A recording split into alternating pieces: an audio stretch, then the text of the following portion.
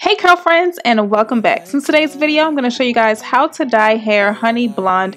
This is the Beauty Forever body wave hair. I left it in its original state at one point, dyed it copper with a box dye and now we're going honey blonde. So I'm starting off this entire transformation with a brand new cut. I originally had this as a middle part bob and I decided to switch it on up, switch it on to the side, do a little side part action and I just wanted to even out this entire cut. So I pretty much just put the wig onto a mannequin head and I switch the entire parting off to the side. I switched the entire wig to the side as well to give it more of a dramatic look. The closure on this wig is only a 4x4 closure so it doesn't take up a lot of space on this wig so I had to shift the entire wig over to the side of my choice and now I'm just evening out the entire look. I don't want it to be asymmetrical anymore. I want this entire look to be a blunt cut. So my overall results are going to be pretty much a shoulder sheet cut. It's going to be right above my shoulders. Here I am checking to make sure that I have the length that I desire. And I'm just going to go back in and refine this cut. And here is my final cut. So now I'm moving into the next process, which will be lifting the hair. I'm going to lift out that box color. Now, if you're doing this yourself at home, be sure to follow your manufacturer's instructions as far as your color and developer. I went ahead and just grabbed some BW2 powder. I followed the instructions and I pretty much just eyeballed the developer. I color hair all the time so I'm pretty used to the measurements. And I'm just going to go back in and lighten everything out.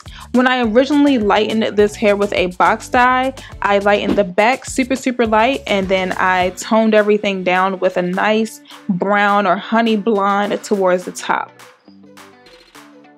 So I have my desired shade right here. I'm just going to lift it a tiny bit brighter and tone it at the same rate. I want to tone out all of the super, super brassy areas and give it a nice honey blonde finish. So I'm separating the hair and I'm to move in with my next lightener. This is the Kaleidocolors lightener. This is a lightener and toner all in one step. So that is why it's this purple color. It's great for achieving nice honey blondes or browns.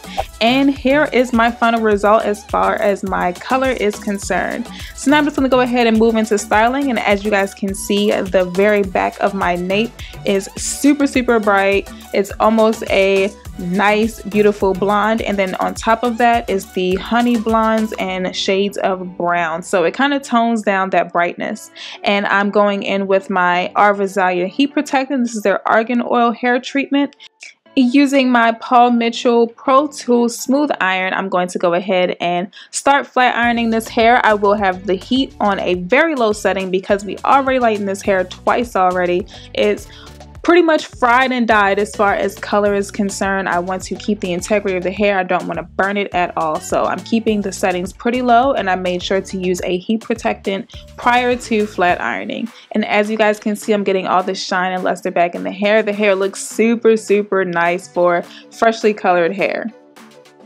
I'm just making sure to hit all of the roots to make sure that the roots are super, super straight and sleek. And I'm just bumping those ends.